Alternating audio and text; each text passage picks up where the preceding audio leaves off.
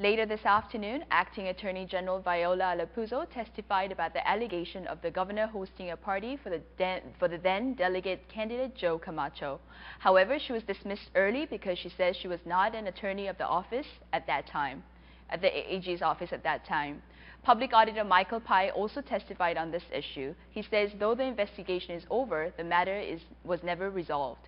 George Hasselback will testify about this issue tomorrow.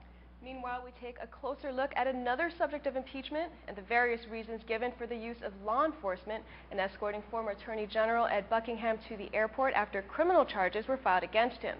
Whether the orders came from the governor remains an open question, but what's been said so far seems to only raise more questions. Acting DPS Commissioner Aniceto Ogumoro told the impeachment committee this week he was not at the airport that early morning of August 4th and did not know about the incident until the media broke the story. Ogumoro did say, however, that he asked his subordinates why they were there. The answer was that the instruction was coming down from uh, the deputy commissioner the deputy commissioner is his older brother, Ambrosio Ogumoro, who was part of the escort that morning. Although the acting commissioner said he talked to the deputy about the incident, he declined to answer the committee's questions about what he learned. I would say uh, it is fair for uh, for me and for the deputy to come before you guys and do his own testimony. Ambrosio Ogumoro just received his subpoena on Wednesday, and we're told he's scheduled to appear before the panel tomorrow. Meanwhile, other reasons for the escort were given by Port's police officers. Chief Jordan Kosam said Police Captain Jermaine Nekaifes, the governor's driver and security aide, called him on the evening of August 3rd to request CPA's assistance in escorting the Buckinghams at the airport. It's a service CPA has provided in the past, he said, for other VIPs upon request. Yes, I said we would uh, render that support to him, and uh, we'll call CPA, Ports Police Dispatch Office to give them that uh, heads up. So, did, did Captain, did Jermaine say anything else to you in that telephone call?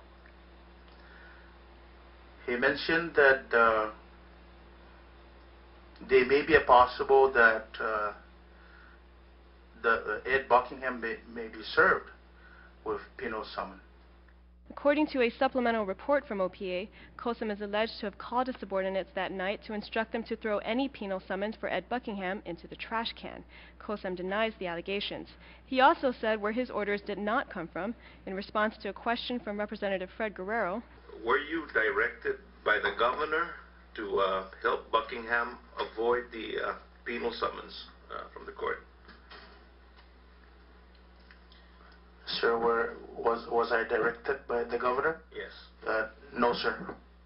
Ports Police Captain John Rebuenag said he was given this reason for the escort. The reason that early morning when I met with the uh, commissioner, I inquired as to why he needed our assistance.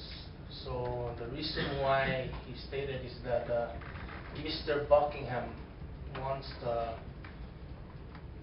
not to be bothered by the media. He wants just to exit the vehicle and just enter screening area and just depart. Captain Nekaifes, meanwhile, invoked his Fifth Amendment right and right to legal counsel this week. He also had little to say in KSPN's earlier attempt at an interview. Can I just get a statement oh, no, no, no, no, I'm sorry. Sorry. We're going, yeah. We're were you going. under instructions from the governor? Oh, no, no, no. No comment or no, you were not? Also from an earlier interview, Governor Fitial himself offered his reasons for the escort. But then your men, like Jermaine and, and the Ambrosio Ogumoro, were at the airport that night. The AG sold everything that he had, including his car. So he asked my driver, Jermaine, to help, you know, uh, bring them to the airport. So Jermaine did, you know, but he, he used his own uh, personal uh, uh transportation. But KSPN learned that Buckingham actually had a rental car. We're told it was this red sedan, seen parked in the early morning hours of August 4th at the Aquarius Hotel where Buckingham used to live.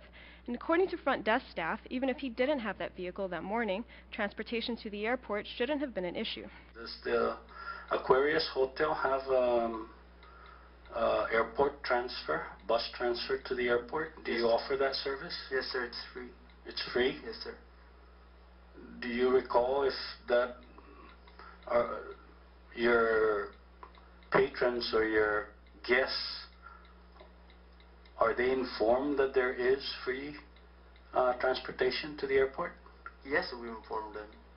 Yeah, it's a airport, uh, airport drop-off and pickup is free. Do you know if Mr. Buckingham was, did you, Yes, they know about that. Yeah, Okay. they do know about that. but they did not ask for uh, No. the free, They did ask uh, several times uh, back in the past, but this time they didn't.